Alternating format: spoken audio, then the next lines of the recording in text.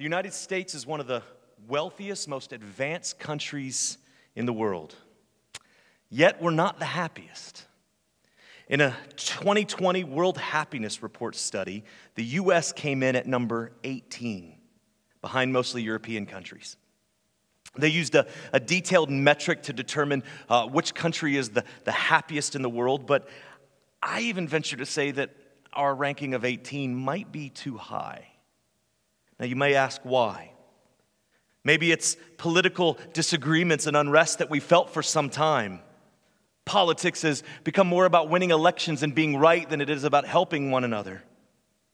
Maybe it's the double edged sword that is capitalism. Yes, we have access to lots of stuff and we, we have everything that we ever need, but at the same time, it's never enough. We want more and more and more. Whatever the reason, I think we are a people that are unsatisfied with our lives. We're constantly told how to look younger. I didn't know this, but Americans spend nearly $20 billion a year on cosmetic surgery. Now, during the last year, you, you know this that Zillow has exploded in traffic, right? Maybe it's because we're unsatisfied with what we have. Now, self improvement is great. I'm all for makeup if that's your thing. I don't even have a problem with cosmetic surgery, and it's perfectly fine to want to make more money and to, to move into a, a house that's better fit for your family. But when you take all that into account with what we see in the happiness report, it shows us that we are really just not satisfied with what we have. We want bigger, faster, and younger, but it always seems just a little out of reach. Why? There are things that we want that we don't have, and our brains can't seem to get enough of wanting more. In 2010, Princeton University released a study. They, they tried to figure out what, at what point were people the most happy uh, uh based on their salary. So, at what point do people need to stop making money in order to be happy, where diminishing returns would start to happen? And, and when I read those headlines 11 years ago, I thought the number would be at least six figures. Like, yeah, I mean, I'm, I'm happy with what I've got, but I'd be a whole lot happier with $500,000 a year, right? I could try a million, a few million. I think we all could. The number wasn't that high, though. The number in 2010 dollars was $75,000. They said once a person reaches a salary of $75,000, diminishing returns start to happen and it starts to decline in happiness. In today's dollars, that would be $89,000. Now, that sounds and it is a lot of money, but the study showed that once we reach that mark, the money doesn't make us happy anymore. Yes, our culture pushes us to find happiness in stuff and experiences, and we get those things because they cost money. We are a rich country, but yet we're still not very happy. Why are we so unhappy? Simply put, we're not satisfied with the stuff that we already have. See, the Corinthian church, this stuff hasn't changed in 2,000 years. The Corinthian church has the same issue. Their church members weren't happy with what God had given to them and where He had placed them. And rather than thanking God for their situation and use it to spread the gospel, they were doing whatever they could to get out of it.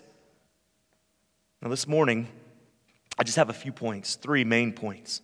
First, in this passage, in verse 17, we see that we are to grow where we are. In verses 18 through 20, Paul uses different views of circumcision as a way to show that people don't need to do anything before they come to Christ. And in verses 21 through 24, Paul continues that thought with the discussion of slaves and free. So the first point this morning is found in verse 17 it's grow where you are planted. Remember that those in the Corinthian church weren't very satisfied with their lives. Married people wanted out, single people wanted in. No one was comfortable or content with where they were. They weren't content with what they had. Now, consider what happens to someone. And this church in Corinth was young Christians. They were newer believers. I mean, the church had only existed for a few decades. So consider what happens when you came to Christ. If you can think back to those, those days, some for, for us is a little longer than others, but, but if you can remember when you came to Christ, did, didn't you initially feel this burning zeal inside of you to make changes. I can remember as a student in, in, in middle school and in high school, um, the big thing back then in the 90s was pushing for getting rid of all of your secular music. So, someone uh, at church or at, at, a rally or at camp would come to know Christ and they'd go home and they'd, they'd take out their, their, their CDs that weren't praise and worship CDs and they'd break them and they throw them in the garbage, even the stuff that wasn't bad. I mean, they were taking Sinatra CDs and breaking, I don't know. They were consumed by this new thing in their life. Everything revolved around their new faith, and, and that's wonderful, but they couldn't understand why everybody else wasn't going 100 miles per hour like they were. See, like those new believers that I've known, the Corinthians may have been overly excited about their newfound faith. They could have been seeking to do what's right, but they just didn't know what to do. That to me seems plausible, but they could have just not been very happy with the life they had. They could have been like us, where we just constantly want more and never, it's never enough. See, we could all name things that we wish we had, things that we wish we could change. Scroll down social media, your social media feed, and you're to see that. Just this morning, I'm seeing people post about their renovations in their kitchen and be proud of those renovations. But if that's what gets you to get up in the morning, is that you're getting new cabinets or a new countertop or you're getting a new car, we're falling in the same problems that the Corinthian church did. We must live contented lives in Christ. And though times have changed, what Paul tells us, and he tells the Corinthians, it applies to us today. He's saying that Christians must live the life that God has given to us. Whatever situation you're in, hear me on this. Whatever situation you find yourself in, God is still sovereign, He is still the king. If your life situation was not part of God's plan, you would be somewhere different. Let's just say that. If God is sovereign, if you believe that He is the ruler of all creation, and that he could stop whatever's happening to you with the snap of his fingers. He could do it, right? And then we wonder why. Why am I in this situation? Why am I suffering? Why am I in this position that I'm in? I just want out. And that's difficult. It's hard for us to do that because we don't want to suffer. We don't want to go through pain. But we must live the life that God has given to us because that's what God has called us to do. Look at verse 17. Only let each person lead the life that the Lord has assigned to him and to which God has called him. God places us right where we are for a purpose. Now, the truth of the matter is, and I'm not sugarcoating this, but you may never see that purpose. You may never experience why God has given you what He has. You may go through your entire life and have absolutely no idea why you've suffered, why things happen the way that they did. And even with those things, God puts us right where He wants us to be. So the natural question then arises is this well, then should we seek something different? Because I can tell you this if, if I have a headache, I'm taking medication for that. I'm not content with having a headache. If I've got something inside of me that needs to be removed, I'm going to the doctor and I'm going to have that thing taken care of. I'm not just going to be content with a disease or an illness. But you can read this passage and then you may think to yourself, well, then why should we seek anything different? If God's assigned this to us, uh, why would someone uh, ever want to seek change? So, what do we do with missionaries then? Specifically, in terms of moving on and going somewhere else, what do we do with missionaries? What do we do with church planters? Pastors who move to another church. What about you in your secular life? You get a new job, you need to relocate, you want to be closer to family. See, we see something clear that seems clear in Scripture that we need to stay where we are forever, that we need to be content with the job that we have. But we know better than that. We know that things make us move, things call us to go to different places. So, what's the difference?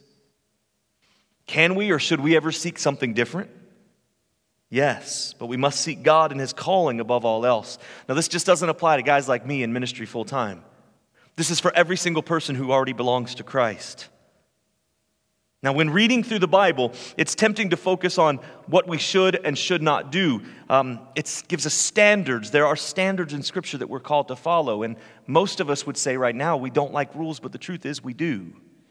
We like expectations. When you start a new job, you want to know exactly what's expected of you. Some people start a new job and they want to know what the minimum they can do to still keep their job.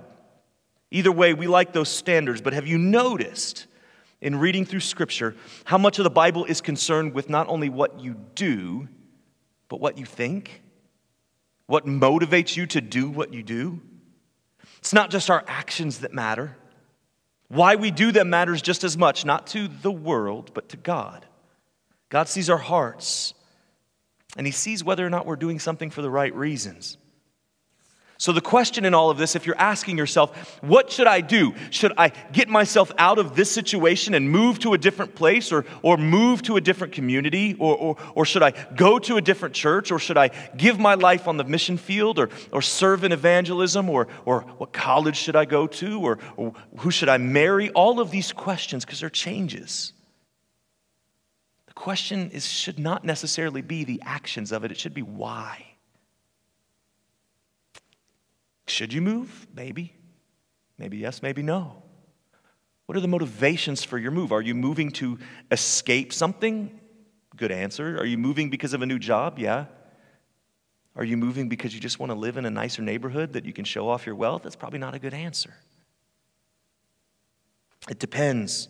But what Paul is hammering home here for the church in Corinth, and remember, they weren't satisfied. They weren't satisfied in their marriage, they weren't satisfied in any aspect of their spiritual life. And what he's hammering home is that we must be at peace wherever God assigns us.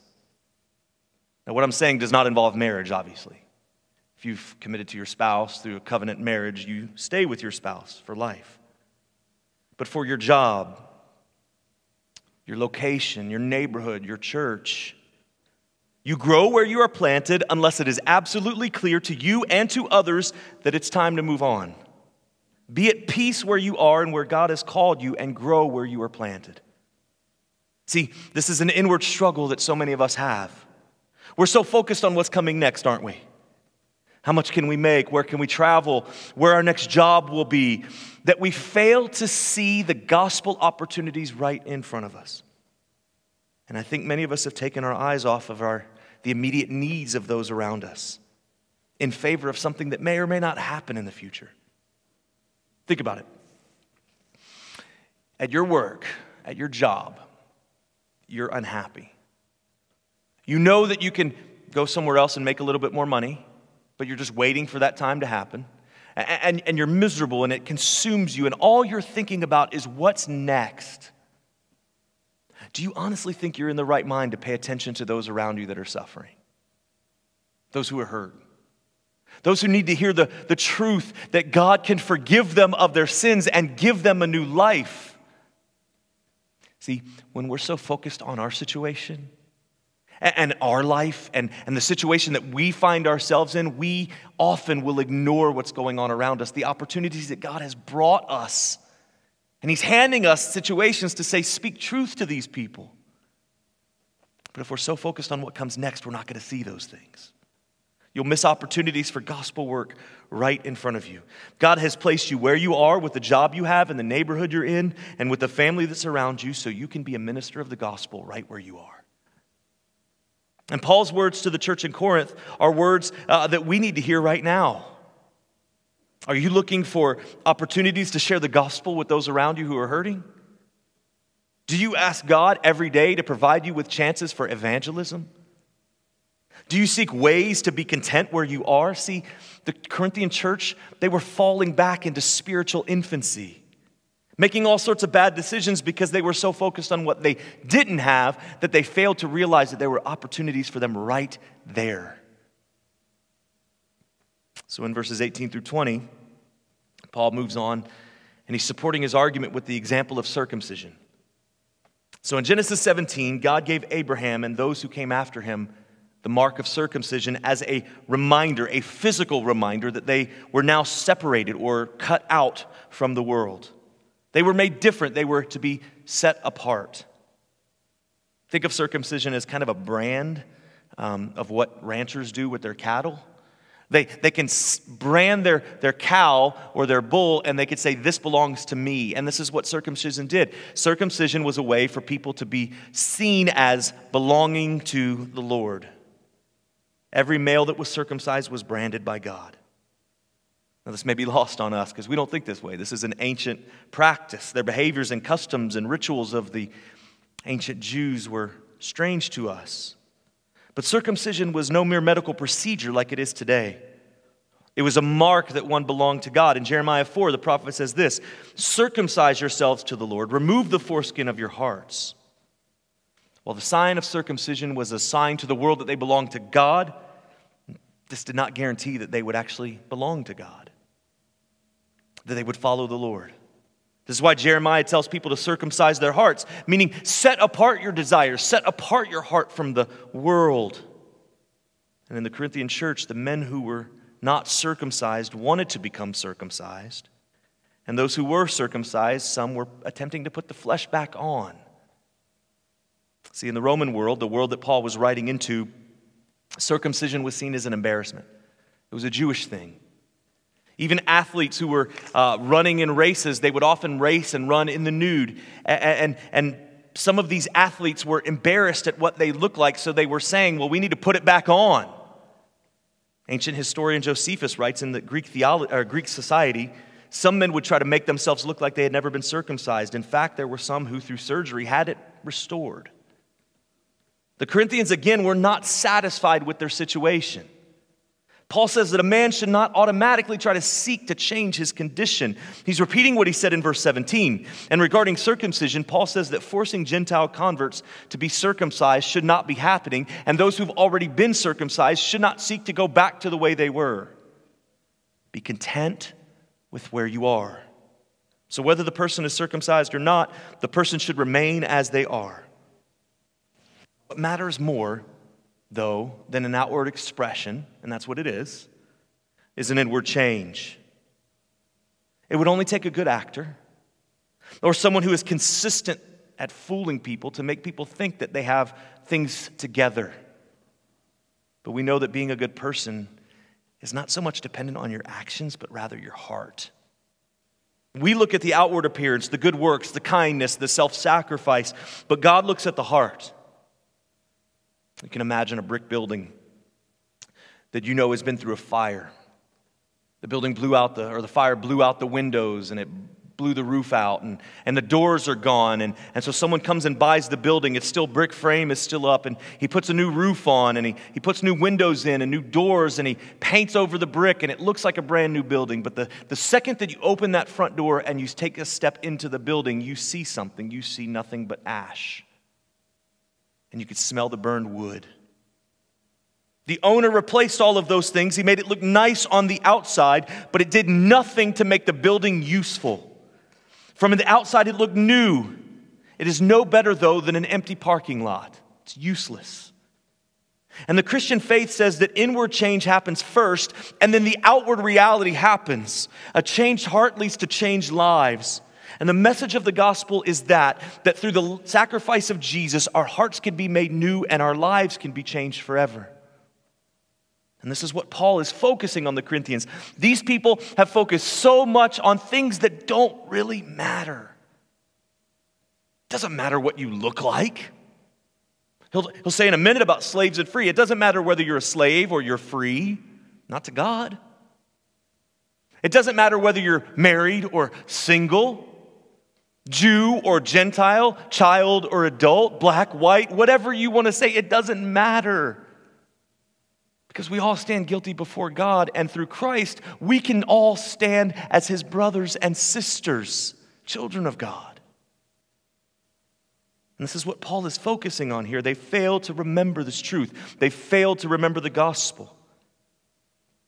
The truth of the matter is, circumcision to us um, is not really a topic of discussion. It probably shouldn't be.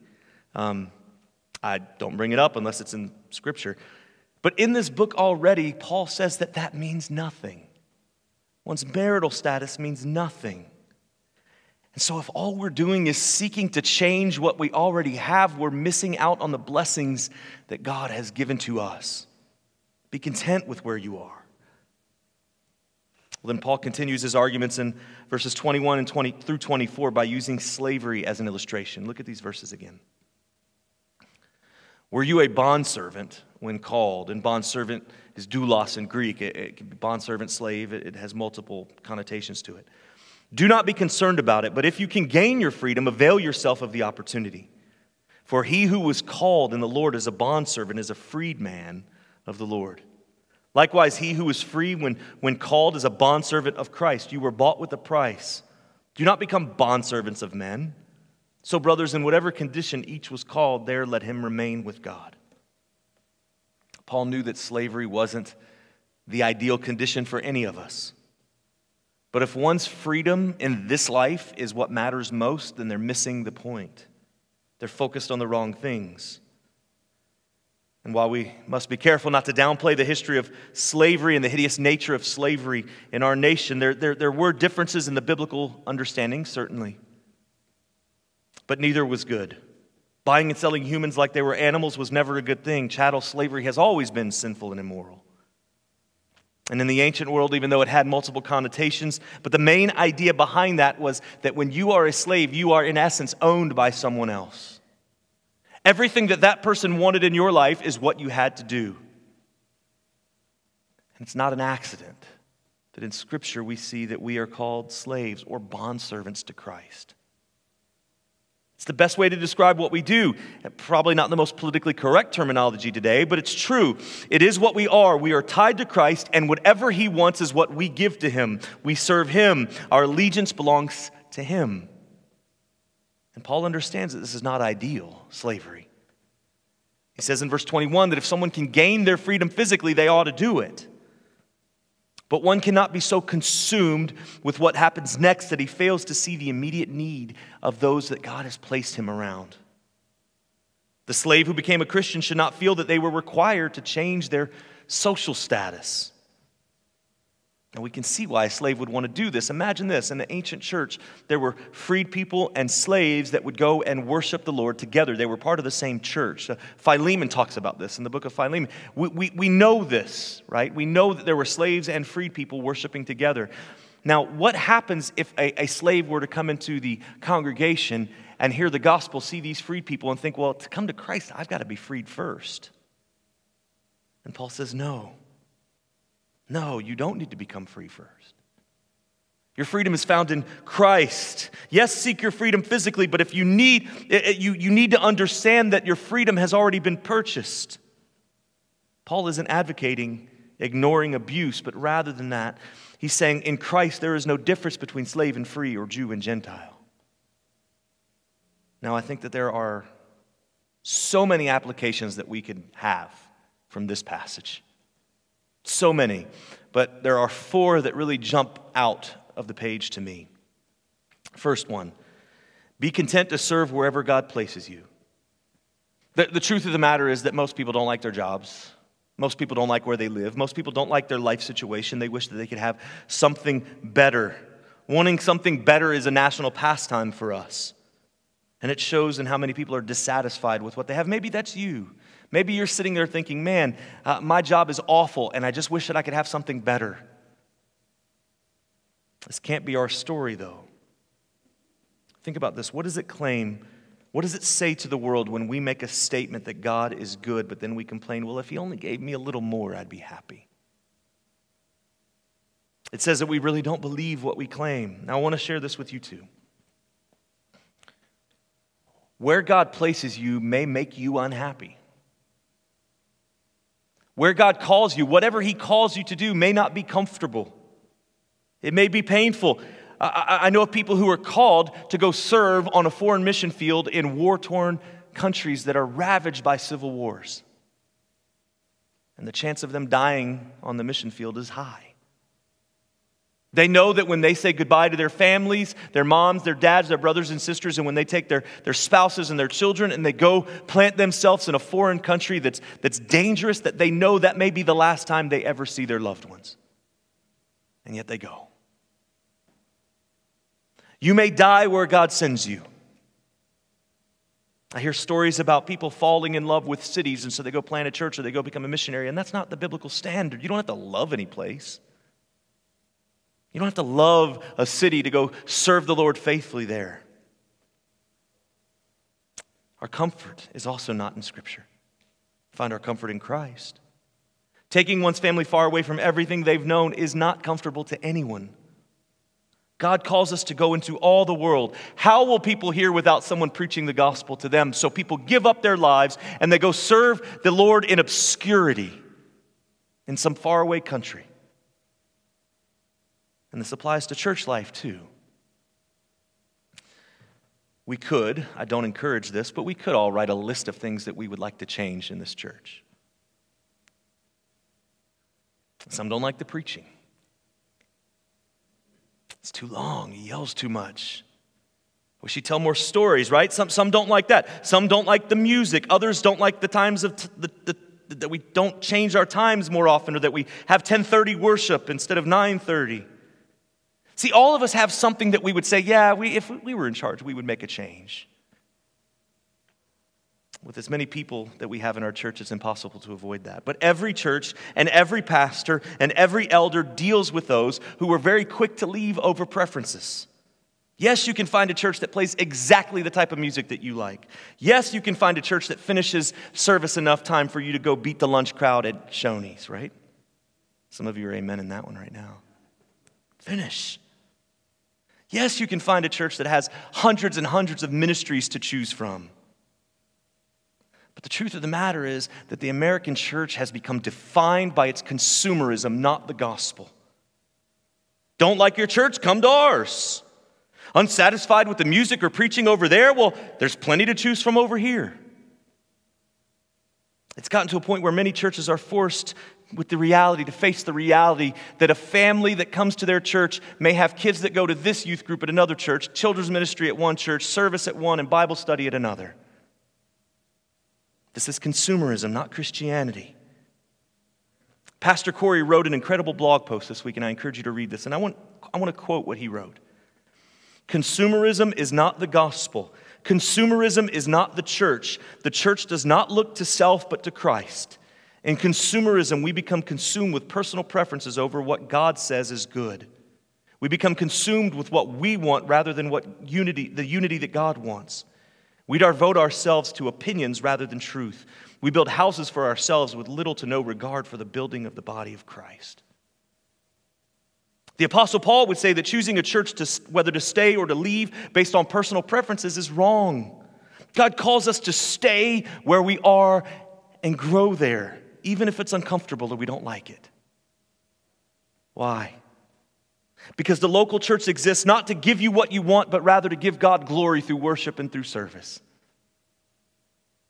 Maybe I'm just overlooking something, but I cannot find any instance in Scripture, not one, that says our preferences matter in regards to the local church. Not one. In fact, I find the opposite. I see commands to love one another, submit to one another, honor one another. Philippians 2, 3, and 4 says, Do nothing from selfish ambition or conceit, but in humility count others more significant than yourselves. Let each of you look not only to his own interest, but also to the interest of others. Truth of the matter is that if we're honoring our brothers and sisters' preferences, just won't matter. If you want to seek to bless others and honor them, you will sing loud even if you don't like the song. The truth of the matter is, we have a song or two that aren't my favorite. But I sing loud. At least I try. Don't sit around me, though. If the preaching is faithful to the Word of God, it won't matter whether it stylistically resonates with you because you know that someone else is being blessed. But the state of the American church is that if you don't like something at one church, you can find somewhere else to go. It's the consumerism that's destroying churches from the inside, it's literally tearing churches apart. And it's leaving young Christians with no one left to disciple them. The second application may sound strange, but this calling is not absolute. Now, I know what I just said. I just spent time saying how important it is to stay where you're planted, but it's not absolute. There are times when God calls us away. I think of someone moving out of the area as a good reason. So is someone who leaves to become a missionary. See, I want to see FBA plant churches, lots and lots of churches, and that would ultimately mean that people who are part of our church will end up leaving our church to go start new ones. And there are biblically supported reasons for leaving a church, but I think they're a whole lot less than most people consider. Paul tells the Corinthians that the ideal thing is for them to stay and to grow, not be focused on what they don't have, that the other church has this better, or another ministry has this, or another church family has this, but rather stay where you're planted and grow there. Not to be focused on what you don't have, but rather blossom in the ministry that you're currently in. The third application is this you can and should speak against oppression and brutality that undermines the truth that we are image bearers. But that means nothing if we're spiritually dead. What I mean is that things happen in the world that are a result of politics and corruption. And the church should speak truth into those situations, be salt and light in the world. We should be seeking ways to apply the gospel to the world that we see. You see something happening, you answer that from a gospel perspective. You say, well, what do you mean? We're not okay with abortion and we're not okay with child trafficking. Why? Well, it's not nice. No, that's not the reason. The reason is that gospel tells us that we are all created in the image of God, and every person has dignity and worth because they're image bearers. They, they bear that mark that no other aspect of creation carries. So we care for one another, we love one another. They're sacred. Every life is sacred. If slavery still existed in our country, I hope we'd all stand up and say that it's evil and it must be stopped. We could fight against it because the gospel teaches us that every person is worthy of dignity and respect. So Paul is saying that a slave doesn't uh, that a slave should be content. It doesn't mean that the slave should not aim to gain his freedom, or that even we should be silent. Paul's saying, be content with where you are because God's placed you there. But yes, you can seek to change those. It's not absolute. If you're in a position where you can move up in a company, move up in the company. If you're in a position where you're, you're in some kind of bondage, of course, you want to be out of that bondage. But the truth of the matter is that for wherever we're placed, God has a purpose and a plan for us being there. And I'll apply this to, to what I know a lot of people in our church are going through right now. Right now, you may be suffering physically. You may have some physical ailment that you just don't understand why you have it physical, you, you struggle, uh, the doctors can't figure it out, or you're on some kind of treatment plan or medicine. Uh, maybe you've even been told that it's very serious, and maybe even told that it's terminal. And in your mind, you're trying to figure out why would God allow me to have this? Why would God allow me to suffer? I'm his child. Doesn't he want the best for me? I said, how you, it's how you define the word best. As you're sitting in the hospital and as you're receiving those medications, as you're in pain, do you know who's watching you? Those doctors, those nurses. Maybe God's placed you in that position so that you can be a witness for Him. Maybe God's put you in a position where you're, you're suffering or you're in pain or you're dealing with some kind of struggles in your family so that you can be the salt and light that your family so desperately needs. The fourth application is this In all things, seek the contentment that only God can give. As long as you are somewhere, you're exactly where you need to be. Now, these points apply to Christians. If you're not a Christian, the Bible says that you should not be content with where you are. You, you, you should be discontented. You should be uncomfortable with what I'm saying. You should be uncomfortable with your life. I hope you see one thing clearly, though. What you believe and what motivates you matters just as much as what you do. You could be the world's nicest person and you could still go to hell. You can give all the money and help all the people that you encounter, but you will not be able to purchase what you need most. Every Christian has come to realize that they cannot do enough to please God. It is only when we realize that and we see how sinful and dark our hearts really are that we can come to Christ in repentance and faith. If you're not a Christian, I pray that you consider whether you've been resting on your own goodness, your own good works, your own strength, or if you say, No, I'm not good enough, but Jesus Christ is. For the Christian, this passage tells us that our contentment cannot be found in anything but Christ. When we look to our circumstances, our job, our family, our church, we will be left with something less than what God has promised to us. When we rest in the promises of God, we find that those things that I just mentioned have no power over us. Yes, they matter, but you see them for what they really are. Not a means of contentment, a means of growth, but not a means of contentment. The truth is, in all of this, is find your contentment in Christ. When we seek and search and cling to stuff that's not Christ, and we try to find our contentment in things that are not of Christ, we're left without hope. Cling to Christ, the only one who can provide you with true contentment. Would you pray with me?